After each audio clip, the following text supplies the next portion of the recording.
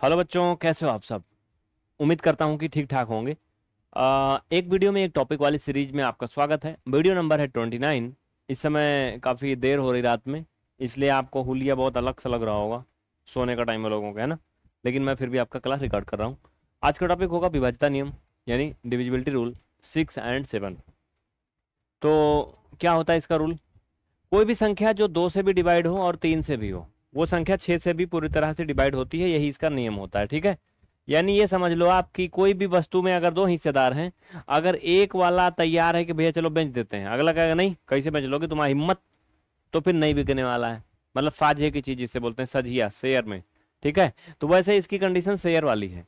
अगर कोई संख्या दो से डिवाइड है, तीन से नहीं है तो फिर पूरी की पूरी संख्या छह से डिवाइड नहीं होती।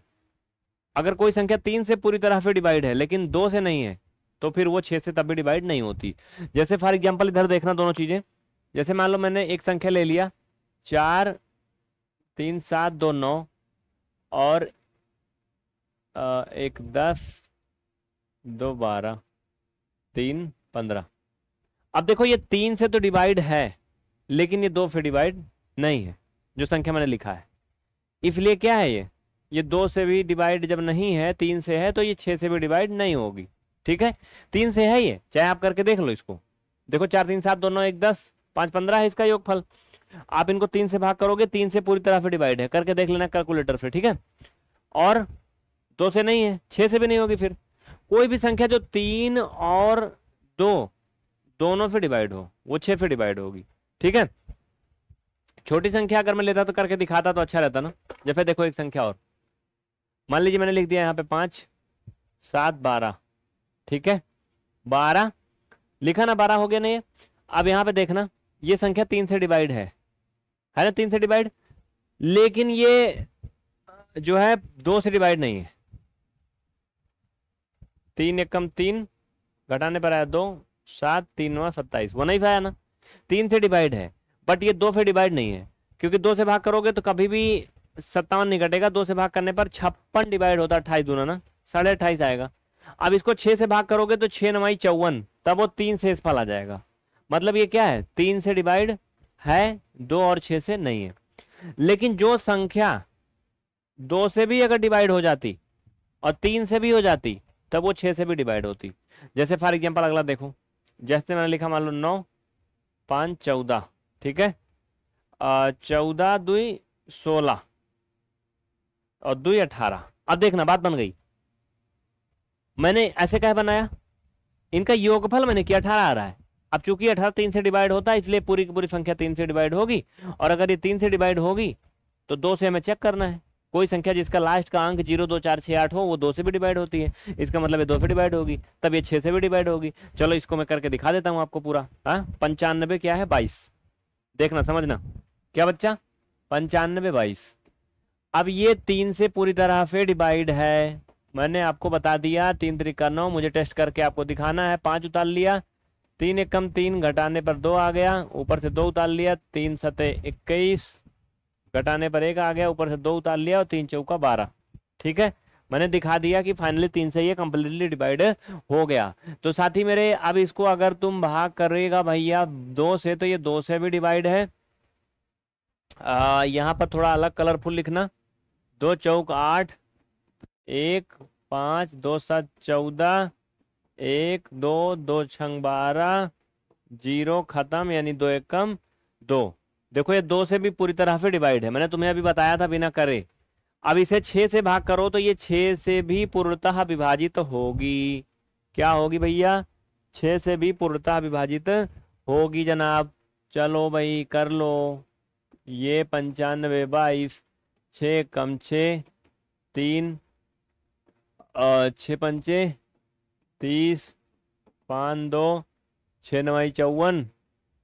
ज़्यादा हो जाएगा छः अठे, अड़तालीस, घटाने पाया चार, ऊपर दो, छः सतह बयालीस। ये देखा ना आपने, कोई भी संख्या जो दो और तीन दोनों से डिवाइड है, वो छः से भी डिवाइड होती है। ठीक है? ये हो गया इसका क्या? एक्सपेरिमेंट करके दिखा दिया। तो प्यारे बच्चा, ये बात मैंने सिद्ध कर दिया। अब देखो, ये संख्या तीन से डिवाइड है। इनका योगफल कर लो। चार, तीन, सात, दो, नौ, एक, दस, दो, बारह। योगफल बारह आ रहा है। इसका मतलब ये संख्या भी क्या होगी? तीन से डिवाइड होगी। क्योंकि लास्ट में दो है, इसलिए ये दो से भी डिवाइड होगी। और अगर तीन, दो से दोनों से डिवाइड है तो छह से भी डिवाइड होगी। अगर आपको तीन का डिविजिबिलिटी रूल नहीं पता, आप कमेंट करना, मैं वीडियो में लिंक दे दूँगा डिस्क्रिप्शन में। ठीक है? बाकी और वीडियो का लिंक डिस्क्रिप्शन में मिल जाएगा। इसका पूरा एक सीरीज़ बना दिया हूँ। पूरा जो video number twenty eight nine तक सब टॉपिक टॉपिक पढ़ाया गया, आराम से पढ़ो प्यार से। हम्म? सब ऐसे है। अगला बताओ सवाल, चलो। बी का न्यूनतम मान बताओ, जिससे कि दी गई संख्या छह से पूर्णता विभाज्य हो जाए। आओ, पकड़ते हैं। वन थ्री ये बी और वन टू सबसे पहले अगर दो का हम चेक करें, देखो छह का डिविजिबिलिटी रूल के लिए, साथी मेरे, हमें दो और तीन दोनों का डिविजिबिलिटी रूल इस पे अप्लाई होना चाहिए। तो दो का तो ऑलरेडी अप्लाई है, क्योंकि लास्ट में दो है तो ये संख्या दो से डिवाइड होगी, दो के बाद खत्म। तीन के लिए इनके अंकों का योगफल तीन से डिवाइड होना चाहिए। तो भाई साहब, इनके अंकों का योगफल करो। तीन एक चार, एक पाँच दो सात। सात और इसमें बी भी जुड़ेगा। तो बी का कोई ऐसा न्यूनतम मान बताओ जो रख दें कि जो संख्या आए जोड़ने पर वो तीन से डिवाइड हो जाए। तो सात के बाद आठ तो तीन से डिवाइड होता नहीं। नौ होता है। इसका मतलब इसमें एक उत्तर हो सकता है कि अगर बी की जगह पर हम दो रख दें तो ये नौ आएगा। अब चूँकि नौ क्या है? तीन से डिवाइड है तो पूरी की पूरी संख्या तीन से डिवाइड हो जाएगी। ठीक है? तो बी का मान यहाँ पर एक जो अनसुना मान है, वो दो हो सकता है। क्या हो सकता है, प्यारे? दो हो सकता है, यानी one, three, two, one, two, ये हो सकता है। ये संख्या दो से भी डिवाइड हो जाएगी पूरी अब, तीन से भी डिवाइड हो जाएगी, और जब दो और तीन दोनों से डिवाइड हो जाएगी तो ये छह से भी डिवाइड हो जाएगी। सो इसका आंसर है दो। क्या है दो? अच्छा दो के अलावा और क्या हो सकता है?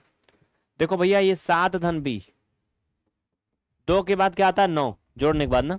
अच्छा नौ के बाद कौन सी संख्या जो तीन से कटेगी? बारह है। बारह है ना? तो एक आंसर इसका पाँच भी हो सकता है। अगर हम सात धन पाँच करते, तभी बारह आ जाता। बारह भी तीन से डिवाइड है, तभी इस पे मान पे कोई फ़र्क पड़ता ना। तो इस पे पाँच भी मैं रख सकता हूँ, ठीक है? तो एक उत्तर इसका ये भी हो सकता था। One, five, two, one, two. ये संख्या भी क्या है? तीन और दो। दोनों से डिवाइड है और छह से भी डिवाइड है। बट यहाँ ऑप्शन में कहीं था नहीं पाँच, ठीक है? तो इसलिए क्या होगा आंसर पाँच नहीं होगा। अगर पाँच होता तो पाँच ही उत्तर माना जाता। इसके आगे और भी संख्या हो सकती है। ऐसा नहीं क्या क्या होगा। बारह के बाद अगला पंद्रह भी डिवाइड होगा तो आठ भी हो सकता है उस पर आंसर ठीक है? लेकिन जो ऑप्शन में है वही। अगला बताओ। चलो भाई रेडी ना सभी? कौन छह से पूर्णतः विभाजित है बताओ। कर लोगे ना? हाँ? फटाफट जोड़ो। लास्ट वाला अंक देख लो, जिसका दो से डिवाइड है, वो तो ठीक है। अब उसका योगफल कर लो, अगर तीन से भी डिवाइड आ रहा है मतलब छह से भी है। चलो, सात में आ जाओ फिर। सात में आ जाओ जल्दी से। सात से विभाजिता नियम क्या कहता प्यारे? कोई भी संख्या, इसका बहुत ही मस्त तरीका ट्रिक बता रहा हूँ। कोई संख्या जो लगातार छह बार रिपीट है, जैसे कोई भी नंबर मैंने लिख दिया, अगर वो लगातार छह बार रिपीट है, जैसे तीन तीन तीन, और ये तीन तीन तीन, छह बार। अब ये संख्या सात से पूर्णता विभाजित होगी, ग्यारह से भी होगी और सैंतीस से भी होगी। भाग करके देख लो, तुम्हें नहीं यकीन है। भाग कर लो।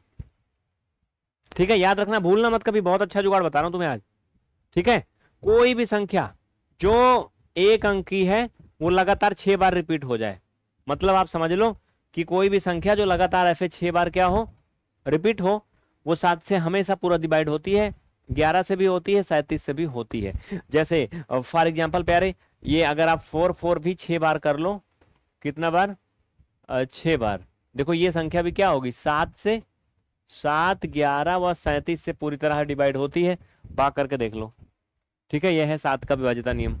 अगला, कोई भी दो अंकों की संख्या, वो तो एक अंक की थी अगर वो तीन बार रिपीट हो जाए, जैसे मान लो दो अंक की संख्या चौंतीस है, ये तीन बार रिपीट हो जाए तो क्या होगी? अब ये पूरी की पूरी संख्या सात से डिवाइड होगी, और तीन से भी होगी, और तेरह से भी होगी, और सैंतीस से भी होगी। ठीक है? भाग करके एक बार देख लेना, मुझे बताना। कोई भी दो अंक की संख्या ले लो, जैसे मान लो इकसठ ले लिया। अब इकसठ, इसको मैंने तीन बार देखो, रिपीट कर लिया। यहाँ से समझना, इकसठ। मैंने क्या किया? तीन बार रिपीट कर लिया पहले। अब ये संख्या कितने? सात से तीन से ग्यारह से और सैंतीस से पूरी तरह से विभाजित होगी। बट हमारा रूल जो है फॉलो कर रहे हैं हम सात का तो सात के बारे में बात करेंगे हाँ? चलो, अगला। कोई भी तीन अंक की संख्या, जैसे मान लीजिए वन, फोर, फाइव। ये वन, फोर, फाइव तीन अंक है। इसको मैंने क्या किया? एक बार रिपीट कर दिया, दो बार लिख दिया। One, four, five, one, four, five. ऐसी कंडीशन अगर कहीं भी किसी भी संख्या के साथ हो जाए तो वो संख्या सात से पूरी तरह से विभाजित होती है। नौ से भी सॉरी सात से ग्यारह और तेरह से भी विभाजित होती है, ठीक है? बात समझ में आ रही है सबको? तो प्यारे बच्चों, यही सब चीज़ें हैं जो बहुत ही खास बनाती हैं इस रूल को। ठीक है, याद रखना, कोई भी संख्या लो तीन अंक जैसे मान लो मैंने ले लिया वन छ पाँच। तो वन छ पाँच, बस हो गया। अब ये सात से डिवाइड है ग्यारह से है, तेरह से ठीक है? चार, पाँच, नौ, फिर से लिख दिया चार, पाँच, नौ। बस, अब ये सात से भी डिवाइड है, ग्यारह से भी है, तेरह से भी है। ठीक है? ये एक डिविजिबिलिटी रूल का इसका एक बड़ा आइटम है, इसको बताऊँगा मैं अगले पार्ट में, क्योंकि ये एक अलग खुद में एक रूल है। ठीक है? तो इस वीडियो में इतना ही। बहुत बहुत धन्यवाद। कुछ भी कहना है, कोई शिकायत है तो कमेंट करिए। वीडियो को खूब दबा के लाइक शेयर करिए। देखो यार, इतना रात में मैं रिकॉर्ड करता हूँ, आपके लिए समझ लो, बहुत मेहनत लगता है। रात के ग्यारह बज मतलब एक बज के ग्यारह मिनट हो रहा है। ठीक है? धन्यवाद। सुबह पाँच बजे सीरीज़ आती है इस समय वर्तमान में।